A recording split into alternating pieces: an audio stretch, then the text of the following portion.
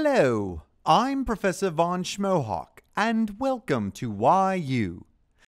In the last lecture, we saw how fractions are multiplied. When multiplying fractions, the numerators are multiplied to create the numerator of the result. And the denominators are multiplied to create the denominator of the result. But how do we divide fractions? Let's start by talking about different ways to write a division operation. You have probably seen long division problems written like this. The number to be divided is called the dividend. The number which divides the dividend is called the divisor. And the result is called the quotient. Division can also be written using a division sign. Once again, the dividend is divided by the divisor to create the quotient. Yet another way to write a division operation is to write it as a fraction, placing the dividend over the divisor. When doing algebra problems, the most common ways to indicate division are either by writing the dividend and divisor as a fraction, or by using a division sign. Both of these notations may also be used when dividing fractions.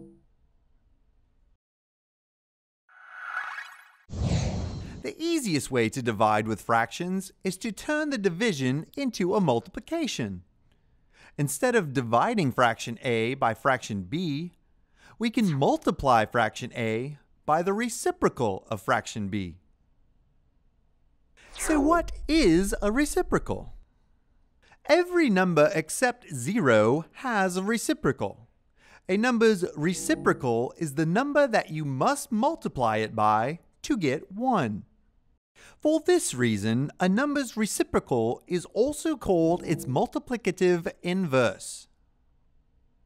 The number 0 does not have a reciprocal since there is no number which we can multiply it by to get 1 and the number 1 is its own reciprocal. We can visualize the concept of reciprocals by using a square with the width and height of 1. Since the area of a square, or rectangle, is equal to its width times its height, the area will be 1. Now if we slice the square into two equal pieces and lay them end to end to create a rectangle, the area of the rectangle will be the same as the square, 1. However, its width will be 2 and its height will be 1 half. So we can see that 2 times 1 half is 1. Therefore, 2 and 1 half are reciprocals. Likewise, if we slice the square into three equal pieces, the area of the rectangle will still be 1. However, its width will be 3 and its height will be 1 third. Therefore, 3 times 1 third is 1. So 3 and 1 third are reciprocals. From this process, we can see that any natural number n and the unit fraction 1 over n are reciprocals of each other. Since dividing by a number gives the same result as multiplying by its reciprocal, reciprocals are useful for turning division problems with fractions into multiplication problems. For example, if we want to divide 6 by 1 third, we can just multiply 6 by the reciprocal of 1 third. In other words, 6 times 3, which is equal to 18. So 6 divided by 1 third is 18. Now let's try dividing 1 third by 1 third. Instead of dividing by 1 third, we can multiply by its reciprocal, 3. 1 third times 3 is 3 thirds, which is equal to 1.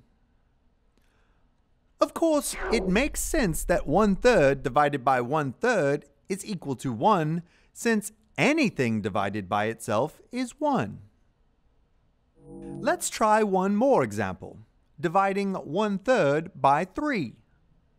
Once again, this is the same as multiplying 1 third times the reciprocal of 3, or 1 third times 1 third. Multiplying the numerators and denominators, we get 1 ninth. So 1 third divided by 3 is 1 ninth.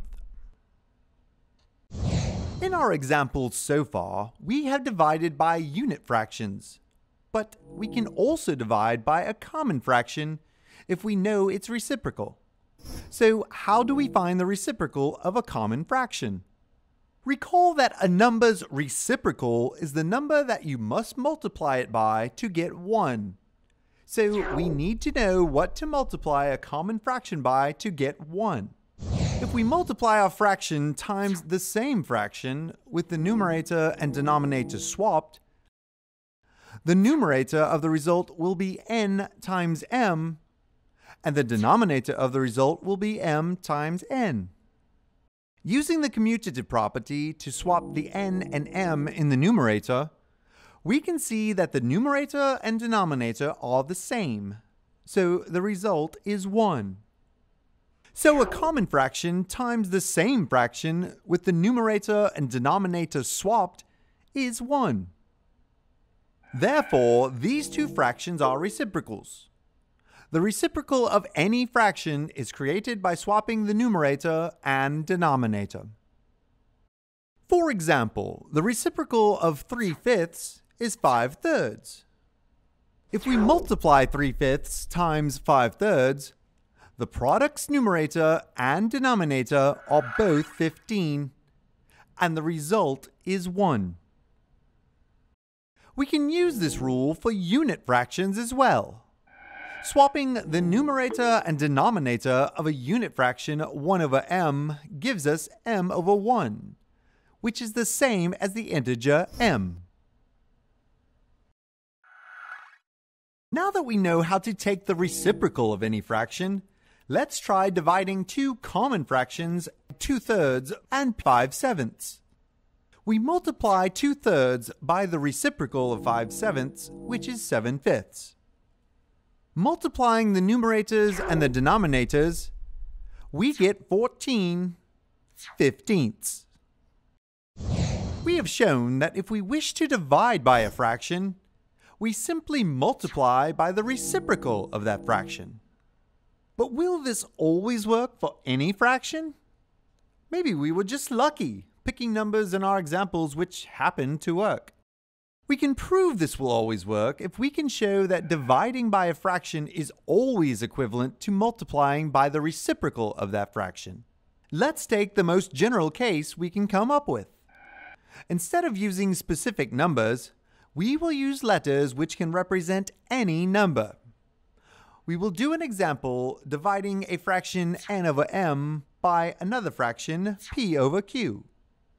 Now, n, m, p, and q can be any integer, except that since a fraction's denominator can never be zero, m and q can't be zero. Also, p can't be 0 since this would make the fraction p over q equal to 0 and we can't divide the first fraction n over m by 0. As we saw earlier, another way to write a division operation is to write it as a fraction, placing the dividend over the divisor. So we can write this division operation between two fractions as one big fraction. Since 1 is the multiplicative identity, we can always multiply anything by 1 without changing its value. Let's replace the number 1 by another number which is equal to 1. Any fraction where the numerator and denominator are the same number is equal to 1. So we will replace 1 by a fraction where the numerator and denominator are both q over p. Now we will multiply these two big fractions by multiplying their numerators and denominators. Notice that the denominator of the big fraction is now the fraction p over q times the reciprocal of that fraction q over p. Anything multiplied by its reciprocal is equal to 1. So we can replace this denominator with 1. Since the denominator of the big fraction is 1, the value of that fraction is just equal to its numerator. So we have shown that dividing by any fraction p over q is equivalent to multiplying by the reciprocal of that fraction, q over p. Since n, m, p, and q can be any reasonable integer, this will always work. Let's repeat this one more time with specific numbers. We first write the division operation as a fraction, placing the dividend over the divisor. Then we multiply by 1. Since 1 is the multiplicative identity, the value is not changed. Then we replace the 1 by a fraction equal to 1.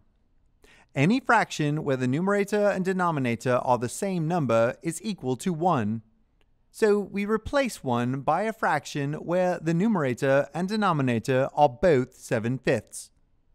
Now we multiply these two big fractions by multiplying their numerators and denominators. The denominator of the big fraction is now 5 sevenths times its reciprocal, so it is equal to 1. Since the denominator of the big fraction is 1, the value of the fraction is just equal to its numerator. So dividing 2 thirds by 5 sevenths is equivalent to multiplying 2 thirds by 7 fifths. So we have seen that when working with fractions, division can be converted to multiplication by the divisor's reciprocal. We also saw in the previous chapter how to add and subtract fractions as long as the fractions have the same denominators. In the next lecture, we will see how to add and subtract fractions with different denominators by finding a common denominator.